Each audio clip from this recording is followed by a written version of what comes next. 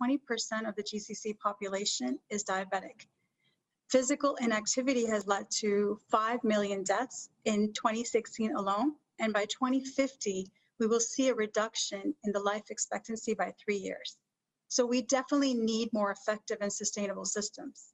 And now we've been struck by the COVID pandemic. But there's hope. The future is faster than you think, and the future is here and it's now. NEOM is working on that. At NEOM, we're going to give health back into the hands of our citizens. Not only will we add 10 years of extra life, but we're going to focus on preventing and reversing chronic diseases such as diabetes. We're developing a complete, fully integrated, proactive preventative system that will be supported by AI and making it sustainable. So let me tell you how it's going to work. So the, when we talk about health and healthcare, the starting point of healthcare is always about healing the sick. Well, really, the real starting point of health and healthcare really begins from cradle to grave. And we're shifting the paradigm of care by investing in healthy people as opposed to just the sick and focusing on designing a proactive preventative approach to a fully integrated system.